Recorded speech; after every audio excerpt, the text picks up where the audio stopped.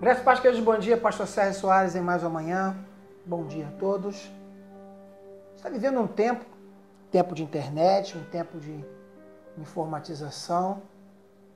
Eu olho para os lados e vejo o quanto a tecnologia tem crescido, os computadores cada vez mais avançados, os celulares que mais parecem um mega ultra computador em nossas mãos. Mas com tanto avanço, com tanta tecnologia, eu continuo achando que o corpo humano é uma das máquinas mais perfeitas, principalmente a memória.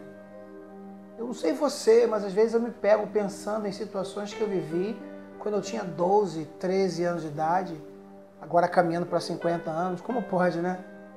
Presta a fazer, caminhando para 50 anos, lembrar de coisas que aconteceram há 35, 36 anos atrás. Isso é o poder da nossa memória. Só que essa memória, ela nesse grande HD, ela tem coisas boas e coisas ruins. E aí, Jeremias vai dizer em Lamentações, no capítulo 3, quero trazer à memória aquilo que me dá esperança. Qual é a lição que Jeremias quer passar para você e para mim nesse dia? É que nesse HD chamado mente, nesse HD chamado memória, que não tem megas ou gigas, muito mais do que teras, porque afinal de contas armazenar tantas informações durante tanto tempo de vida, nesse HD tem muita coisa que você viveu. Tem muita coisa ruim, tem muita coisa boa.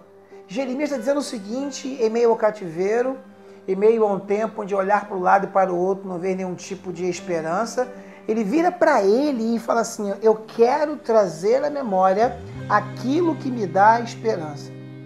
Jeremias está dizendo o seguinte: no meu HD chamado memória tem muita coisa ruim. No meu HD tem situações que eu passei que eu não quero lembrar mais, mas elas estão armazenadas aqui. E eu sei que elas estão aqui dentro, mas eu quero trazer à memória o que me dá esperança. Nessa manhã, nesse dia em que você nos ouve, quero dizer para você que você tem o poder de acessar suas memórias. Agora, se você vai querer acessar as boas ou as ruins, é com você. Jeremias nos ensina a acessarmos memórias que nos trazem esperança, porque ficar remoendo o teu passado e pensando em coisas que te fizeram sofrer não vão melhorar em nada. Então vamos fazer o seguinte? Vamos fazer igual Jeremias? Eu quero, você quer?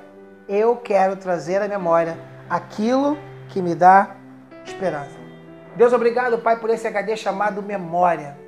E obrigado pela tua palavra, Deus, nos orientar, explicando pra gente que nesse HD cabem coisas boas e ruins. Vemos muitas coisas boas, vemos muitas coisas ruins, mas agora, no momento em que estamos vivendo, cada um que ouve essa mensagem, Deus precisa rebuscar, Deus, situações.